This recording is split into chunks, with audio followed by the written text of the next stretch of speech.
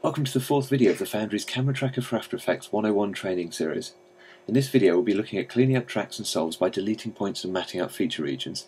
We'll also cover how to judge the quality of a track and use the information overlays. Now, our shot is looking okay. The solve error was relatively low and the solids and nulls stick in place. What if you're wanting to improve it still more, or what if you're not as fortunate as to have a shot which tracks this well? It's worth saying in most cases I wouldn't bother troubleshooting this particular shot since my result is fine for most uses. So it's worth making that judgment call before you get stuck into this because tweaking down the solve error can actually get a little bit of addictive and can be unnecessary if the result is already as good as you need. So Camera Tracker has a whole range of tools and information displays to allow you to figure out what's wrong with your shot and correct it. We'll get to these later on, however, because rather than turning to them first of all, I often find the best way to figure out what could have gone wrong is a bit of eyeballing of the shot, the tracks, and the result. So, first of all, let's see how good the solve really is. To do this, I'm going to insert an object into the scene. So, add yourself a solid, and let's make it, say, 2000 by 2000. Turn on your 3D layer, and grab yourself a grid effect, and drop that onto your layer, like so. Okay, and let's make it a little bit smaller in the grid. Okay, now what you need to do is lay it along your actual ground plane, like so. So what we have here is our grid laid along our actual ground plane that we set. Now, if I hit RAM Preview and let it render, you'll see the grid is sticking nicely to the items within the scene. It looks a bit strange because it essentially passes through the other objects at different depths, but see how the features stick against the underlying plane. Next off, I'm going to eyeball the actual track points themselves. So to do that, let's bring back up our camera tracker layer and bring up the feature points. Now, just for now, I'm going to solo this. Right, I'm looking here for obviously bad points. So the sort of thing where the tracks themselves are sliding or jumping across and around the points they're meant to be tracking. Often troublesome areas occur in the background plane as well, where there's no parallax, or near the edge of frames where the points may slide along that edge. None of that seems to be happening here, however, so that's all good. Now, when I solved before, you may have noticed that my feature points change colour from orange to this range of green and red. What these colours signify is actually switchable using the display control here, but defaults to showing whether the point in question is solvable in green or classified as an outlier in red. These red points can influence the solve to a certain degree, but generally not by much. They're usually the points which don't fit the internal model of the scene. In this shot, they exist in areas of foreground motion, such as over here, where the actual track movement is due both to the background camera move, but also to the foreground character motion, so it's perfectly right to reject them. If you start seeing big swathes of red tracks on the background structure of the scene, i.e. in areas which should be fine, then it's likely that you have a fundamental track or solve problem, such as bad tracks throwing off the estimate, excessive lens distortion, and so on. I can also get some very useful information about each of the track points by hovering over them. This will show me in the case of red points simply the track lifetime, which is the number of frames it runs over, and the track distance, which is the distance in pixels the track point has moved between this frame and the last. In the case of green pixels, solved ones, it will show me those first two again, plus two additional error messages, the per frame and the per track. The first allows you to see when a point has gone momentarily awry, and the second allows you to pick out tracks which are generally not good. In both cases, the higher the number, the less the track point fits with the solve. Now viewing each point in turn can be a bit of a faff, so we can flip our display point down to point quality here, and it'll show solely the solved points, the ones that were previously shown in green, and colour code them according to how big their per track error is.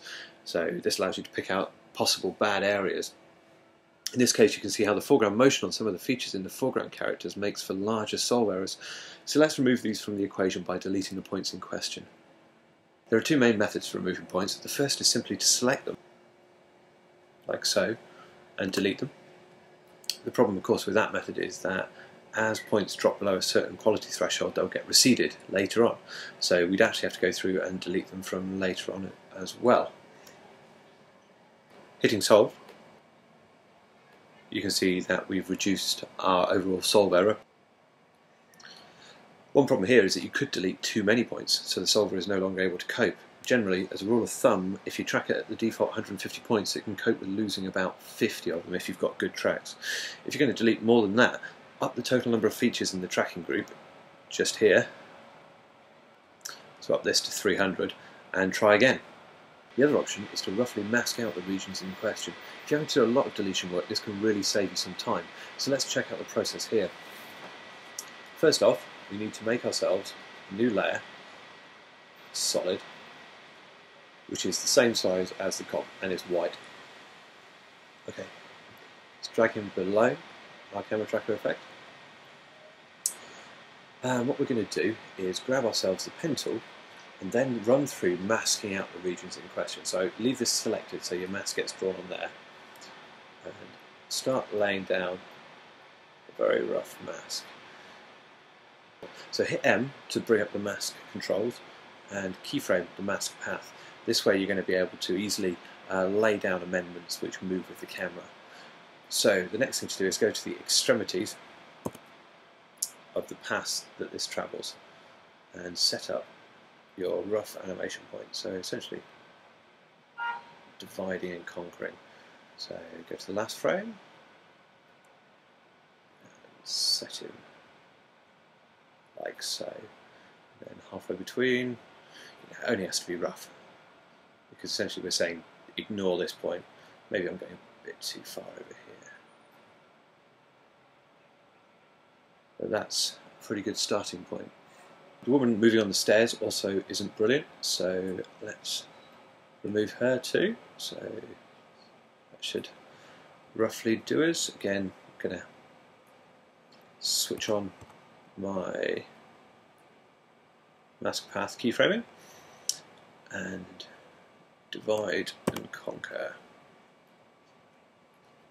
And again now, you can see my roto skills are pretty poor.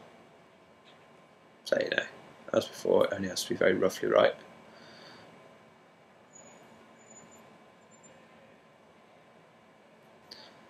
There we go, and then the final part is uh, our NFTS logo here. Obviously, that's been overlaid on top, and so it's going to do us absolutely no good from the point of view of being able to track if it hooks onto that. Now, for the most important but easily forgotten step, you need to pre-compose this layer. So go in, go to Layer, Pre-compose, select Move All Attributes. Now our matte layer is ready. So if you go into your camera tracker and say, take from my matte alpha, matte source, and then that should turn on my matte layer drop down here and allow you to select your just set up pre-comp. Now, this affects your actual track, so we're going to need to retrack. So I'm going to toggle on preview features to see that my matte is actually getting observed. And as you can see, I'm getting no features in here, no features in here, and no features around here. So that is excellent. So I'm going to have to track again. I'll be back to you in a second with that retracked. Okay, so we're back, we've solved the result. We get a bit of an improvement over what we had before. Not a massive amount, mainly because the actual track points were pretty good to begin with. This workflow can be very, very powerful when applied to shots with excessive amounts of foreground motion and so forth, which really throw off that tracking solving phase.